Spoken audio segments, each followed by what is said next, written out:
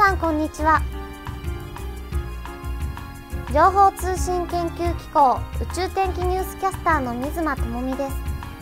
5月12日から18日までの週刊宇宙天気ニュースをお送りします。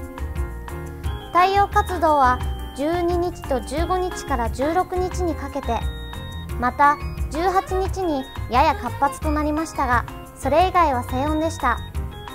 太陽風地磁気は16日にやや乱れた状態となりましたがそれ以外は静穏でした。電離圏はおおむね静穏でした。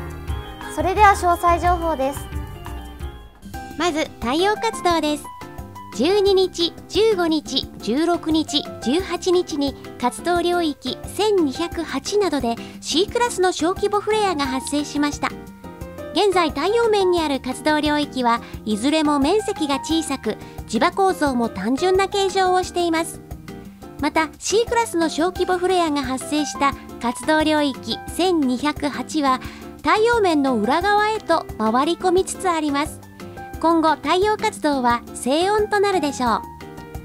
次に太陽風地磁気です。太陽風速度は15日に秒速 300km 台から秒速 600km 台へ上昇しました。この太陽風速度の上昇は12日に太陽面の死後線を通過した高速な太陽風の吹き出し口であるコロナホールの影響によるものと考えられます。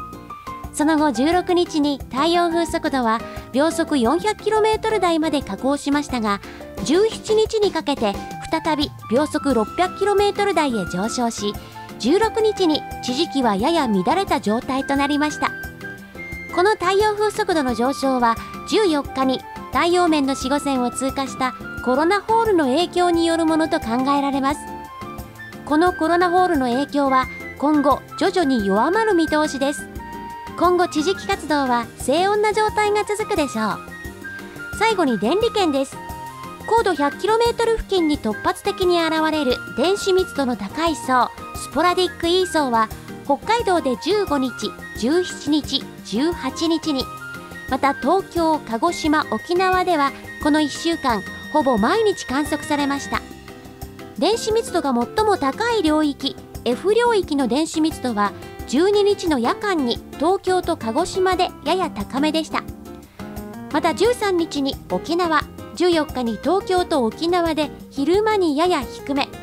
16日から18日にかけて昼間に東京以南の地域でやや低めでした。日本上空の全電子数は16日から18日の間。昼前から夜の初め頃にかけて低緯度の地域でやや低めでしたがこれ以外はおおむね静穏でした。今後地磁気は静穏な状態が予想されるため電離圏も静穏でしょう。続いて今週の豆知識のコーナーです。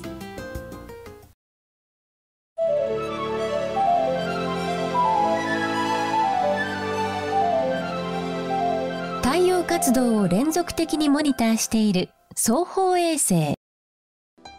双方衛星は欧州宇宙機関の ESA とアメリカの NASA によって1995年12月に打ち上げられた太陽の観測をするための探査機です。双方衛星は L1 点と呼ばれる太陽と地球の重力が釣り合う点に位置し常に太陽を観測しています。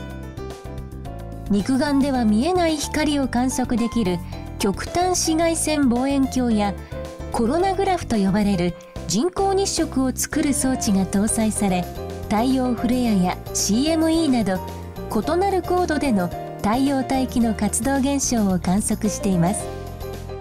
双方衛星はこのような宇宙天気予報に必要な太陽大気の情報を観測し準リアルタイムでデータを提供しており情報通信研究機構が行っている宇宙天気予報でも使われています。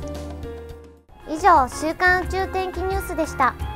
次回の配信は5月27日の予定です。